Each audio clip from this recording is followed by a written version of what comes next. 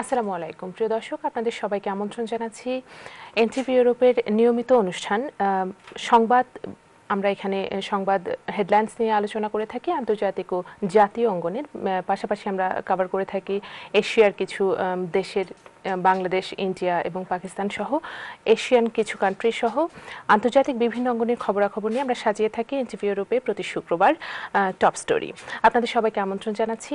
রোজার পর, ঈদের পর আপনাদের সাথে আর আমাদের দেখা হয়নি। আজকে প্রথম আমরা আবার শুরু করতে যাচ্ছি। আপনাদের সবাইকে ঈদ মোবারক জানাচ্ছি। প্রতিবারের মতো এবারও আপনাদের সাথে রয়েছে আমি শারমিন আলম চৌধুরী। প্রিয় দর্শক, আপনারা জানেন আমরা হেডলাইন্স দিয়ে শুরু করি এবং সেই সাথে আমাদের একজন দর্শক একজন অতিথি উপস্থিত থাকেন। তার কাছ থেকে আমরা জানি বিভিন্ন ইনফরমেশন এবং সেই সাথে আলোচনা করে থাকি আমাদের হেডলাইন্স যেগুলো রয়েছে, মূল মূল সংবাদ যেগুলো রয়েছে। আজও তার ব্যতিক্রম হয়নি। আমার সাথে রয়েছেন আমাদের সবার প্রিয় অত্যন্ত- শ্রদ্ধাভাজন ব্যারিস্টার এবং সেই সাথে সলিসিটার মনিরুল ইসলাম মঞ্জু। আপনাকে স্বাগত জানাচ্ছি আমাদের টপ স্টোরিতে। ধন্যবাদ আপনাকে সেই সাথে ধন্যবাদ জানাচ্ছি যারা শুনছেন। ভাইয়া আপনার সাথে আমার আহ, আলোচনায় যাওয়ার আগে আমি হেডলাইন্সগুলো একটু দেখে নিচ্ছি। তারপর যাচ্ছি। আমার হাতে রয়েছে বিবিসি বিবিসি নিউজের হেডলাইন্স রয়েছে US air strike on militants in Iraq. সেই সাথে দেখে নিচ্ছি স্কাই নিউজের হেডলাইন্স সেখানেও তার ব্যতিক্রম নয়। US begins air strike against Iraq militants. এবং সেই সাথে আমি দেখে নিচ্ছি টেলিগ্রাফ পত্রিকার একটি হেডলাইন্স যেটি সারা বিশ্বে আসলে ইউরোপিয়ান কিছু কান্ট্রিতে এবং আফ্রিকার কিছু কান্ট্রিতেও অ্যাবোলা ভাইরাস নিয়ে যে সংক্রমণ যেটা ছড়িয়ে পড়ছে সেটা নিয়ে তারা হেডলাইন্স করেছে। সেই সাথে আমার হাতে রয়েছে কিছু কমিউনিটির পত্রিকা রয়েছে লন্ডন বাংলা এখানে হেডলাইন্স হয়েছে আপনার শপিং মানে কি ইসরায়েলে যাচ্ছে? লেভেল দেখে পণ্য ক্রয় করুন, ইসরায়েলি পণ্য বর্জন করুন, গাজাবাসীদের সহায়তায় এগিয়ে আসুন। সেই সাথে সংবাদ ও অনুষ্ঠান সম্প্রচারে কঠোর আইন করে সম্প্রচার নীতিমালার গেজেট প্রকাশ। এটি বাংলাদেশের একটি সংবাদ। বাংলাদেশের সরকার নতুন করে একটি মিডিয়াকে ঠিক কন্ট্রোল করার জন্য নয় নিয়ন্ত্রণ যাই বলেন না কেন তাদের জন্য একটি গেজেট প্রকাশ করেছে। সেই সাথে রয়েছে বাংলা সংলাপ। এখানে হেডলাইন্স হয়েছে স্যালুট ওয়ার্সি চাপের মুখে ক্যামেরুন পার্টিতে ব্যস্ত ব্লেয়ার ইসরায়েল বিরোধী মিছিল হারাম সৌদিতে সৌদি মুফতি। জানি না আসলে নিউজটির কতটুকু ভিত্তি রয়েছে বা আপনি আপনিও আসলে এগুলা অনেক খবরে ভিত্তিহীন। যেটা ভিত্তি নেই এটা নিয়ে পাবলিকের সাথে আসলে আলোচনা যাওয়াটা সঠিক হবে বলে মনে করি হ্যাঁ না। আহ, তবে সায়দা ওয়ারসি পদত্যাগ করেছেন। এটি অনেক গুরুত্বপূর্ণ একটি খবর। সেই সাথে পদত্যাগ করলেন সায়দা ওয়ারসি আরব রাজাদের চপেটাঘাত। এটি হচ্ছে সাপ্তাহিক দেশ পত্রিকার হেডলাইন্স। সেই সাথে আরও হেডলাইন্স হয়েছে ক্যামেরুন হাসিনা বৈঠক সমাচার। থলের বিড়াল বেরোলো একদিন পরই। এবং আরও কিছু ছোট ছোট হেডলাইন্স রয়েছে। উনত্রিশ দিনে এক হাজার আটশো সাতষট্টি ফিলিস্তিনি হত্যা, আহত দশ হাজারেরও বেশি। চৌষট্টি জন ইসরায়েলি সেনা নিহত মর্গে জায়গা নেই, ফ্রিজারে শিশুদের লাশ। যুক্তরাষ্ট্র, ইসরায়েল অন্থবন্ধনের রহস্য।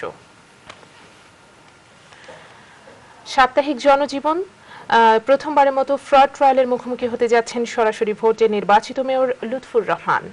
সেই সাথে মেয়র নির্বাচনে অনৈতিক সুযোগ সুবিধা দিয়ে নিয়েছেন ডেইলি মেল বলেছে। ট্রায়ালের শুনানি টাওয়ার হ্যামলেটসে অনুষ্ঠিত হবে হাইকোর্ট। অভিযোগ পরাজিত প্রার্থীদের মন গড়া পরিকল্পনা কল্পনা ছাড়া আর কিছু নয়, বলেছেন মেয়র।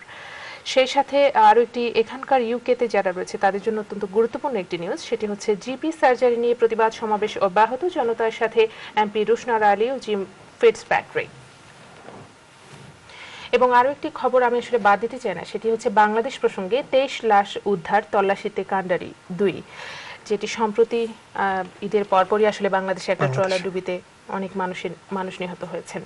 সাপ্তাহিক বাংলা টাইমস এখানে হেডলাইন্স হয়েছে গাজার উত্তাপ কমিউনিটিতে সেই সাথে গাজা ইস্যুতে ব্রিটিশ নীতির প্রতিবাদ ব্যারোনেস ওয়ার্সির পদত্যাগ পাশাপাশি ডেভিড ক্যামেরনের ঘোষণা নভেম্বর থেকে ইমিগ্রেশনে কঠিনতর নীতি। এটা আমাদের ইমিগ্রান্টস যারা রয়েছে তাদের জন্য। অত্যন্ত ইম্পর্টেন্ট প্রিয় দর্শক এই ছিল আমার হাতে থাকা কিছু পত্রিকা এবং বিবিসি স্কাইয়ের হেডলাইন্স। সেই সাথে দেখে নিচ্ছি বাংলাদেশের কিছু চ্যানেলের হেডলাইন্স যা গত সপ্তাহ জুড়ে আলোচনার ঝড় তুলেছিল মিডিয়া পাড়াতে চলুন দেখে আসি।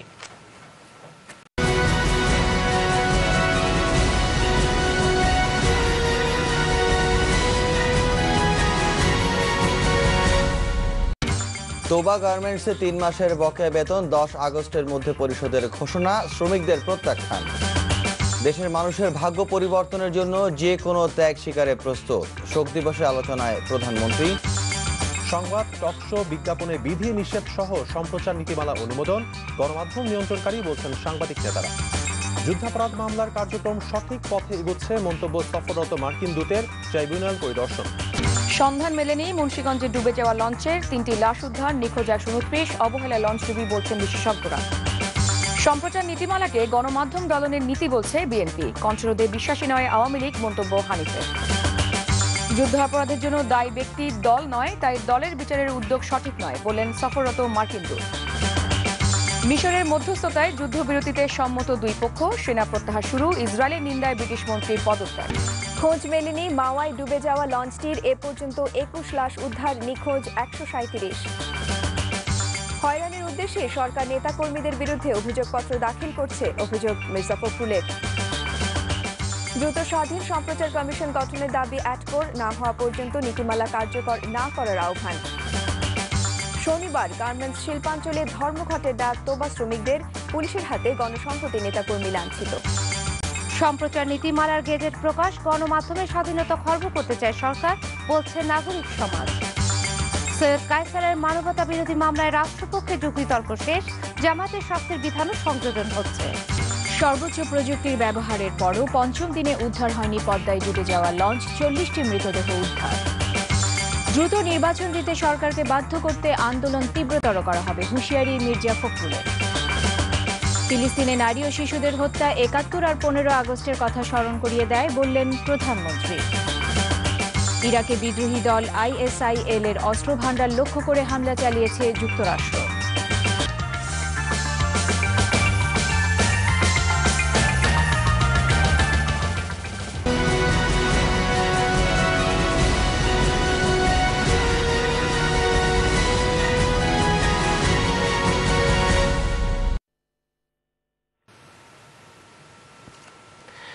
প্রিয় দর্শক আমরা আপনাদের সাথে সাথে আমরাও দেখে নিলাম গত সপ্তাহ জুড়ে বাংলাদেশের মিডিয়া পাড়াতে কোন কোন বিষয়গুলো আসলে আলোচনা ঝড় তুলেছিল। চলুন আমার অতিথি যিনি রয়েছেন তার কাছ থেকে জেনে নিব বিস্তারিত কিছু আলোচনা। মঞ্জু ভাই আমি আসলে অনেকগুলো বিষয়কে আপনি আর আমি যে যেগুলো পিক করলাম সেগুলো হচ্ছে US air strike on militant in Iraq এবং গাজা ইস্যুটি তো অবশ্যই সেই সাথে সায়দা ওয়ার্সির পদত্যাগ অনেক ইম্পর্টেন্ট এবং পাশাপাশি আরও একটি বিষয় যেটি হচ্ছে নভেম্বর থেকে ইমিগ্রেশন আইন আরও কঠিন হতে যাচ্ছে। এবং বাংলাদেশের ট্রলার ডুবি অত্যন্ত মর্মান্তিক একটি ঘটনা।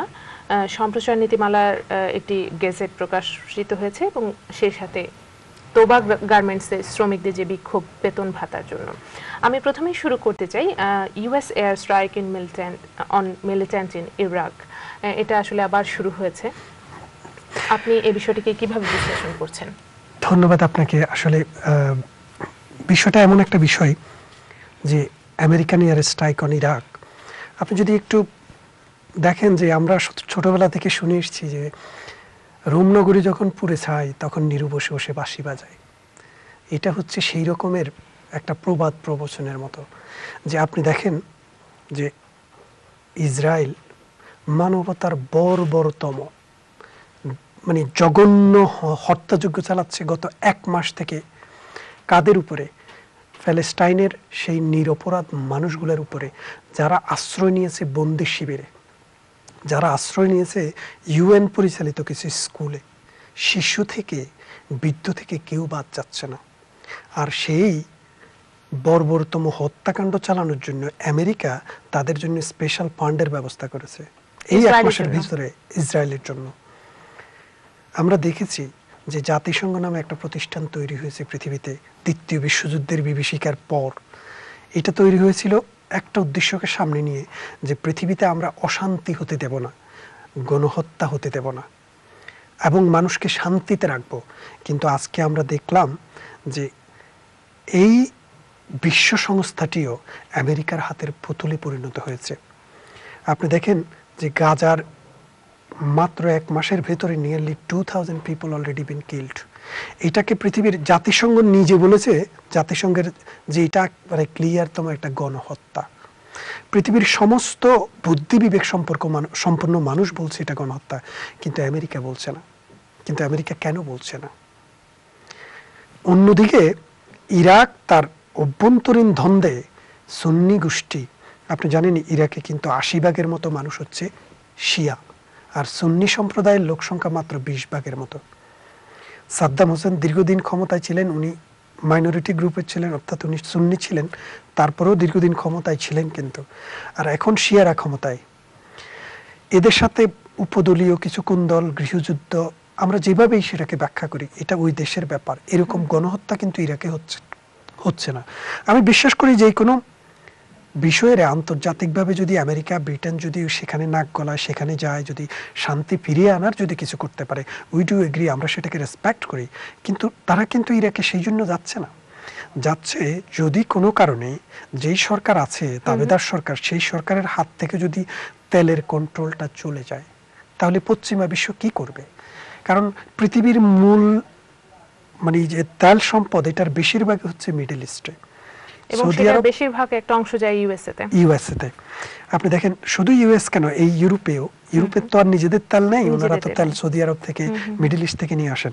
এখন ওনারা চান যে কোনো ভাবেই হোক এই তেলের কন্ট্রোলটা আমাদের হাতে থাকতে হবে। সেই সাথে আপনি কি আমার সাথে আরও একটা বিষয় এগ্রি করবেন কিনা যে সারা বিশ্বে মুসলমানদের উপর যে ধরনের একটা মুসলিম বিশ্বকে অস্থির করে রাখার একটা পরিকল্পনা হচ্ছে কিনা বা চলছে কিনা? আমি আসলে ওই মুসলিম বিশ্বকে অস্থির করে রাখার জন্য চোর পরিকল্পনা হচ্ছে কিনা সেই বিষয়টাতে আমি ওইভাবে ডাইরেক্টলি মনে করি না। না মনে করার মূল কারণটা হচ্ছে মুসলিম বিশ্বের যে মূল সমস্যা। আপনি যদি দেখেন ইসলাম ধর্মে কিন্তু জ্ঞান অর্জন করাটাকে পরজ করা হয়েছে। আমাদের একবারে সহি হাদিসেই আছে মহানবীর জীবদ্দশায় মহানবী বলে গিয়েছেন। জ্ঞান বলতে যেটাকে বোঝায় আজকের দিনে দেখেন আমি আজকে টেলিভিশনে প্রোগ্রাম করতেছি মানুষ দেখছেন কিন্তু টেলিভিশনে বসেই। এই টেলিভিশন আধুনিক সভ্যতার একটা বিস্ময়কর আবিষ্কার। এবং সেই সাথে সমাজের দর্পণও বলা হয় হ্যাঁ, মিডিয়াকে। মিডিয়াকে। আজকের মিডিয়া বলেন টেলিভিশন কম্পিউটার স্যাটেলাইট আপনার টেলিফোন এভরিথিং বিজ্ঞানের অবদান। তো এই বিজ্ঞানও কিন্তু জ্ঞানেরই অংশ মহানবী যে জ্ঞানের কথা বলেছেন। তো আমাদের যেটা সমস্যা হয়েছে যে একটা সময় আরবরা মুসলমানরা কিন্তু সূর্যে বীর্যে পুরো বিশ্বে খুব শক্তিশালী ছিল। মুসলমানরা কিন্তু এই গণিত শাস্ত্রের উদ্ভাবন করেছেন। মুসলমানরা কিন্তু আজকের যে চিকিৎসা বিজ্ঞান এই চিকিৎসা বিজ্ঞানের উদ্ভাবন করেছেন। কিন্তু কালক্রমে কিন্তু মুসলমানদের হাতে কিছুই নেই কেন নেই?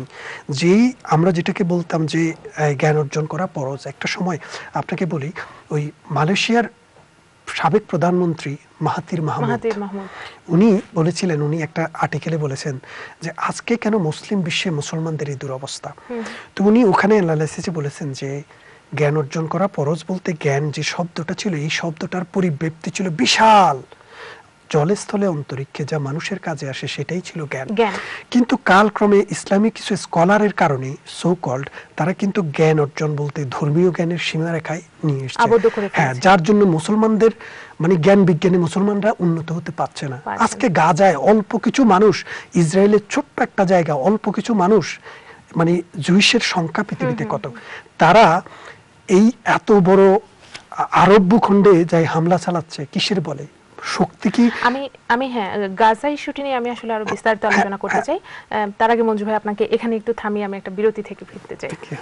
প্রিয় দর্শক আমরা অনেক গুরুত্বপূর্ণ একটি বিষয় নিয়ে আলোচনা করছি। আপনারা আমাদের সঙ্গে থাকুন আমরা নিচ্ছি ছোট্ট একটা বিজ্ঞাপন বিরতি। ফিরে আসছি টপ স্টোরিতে।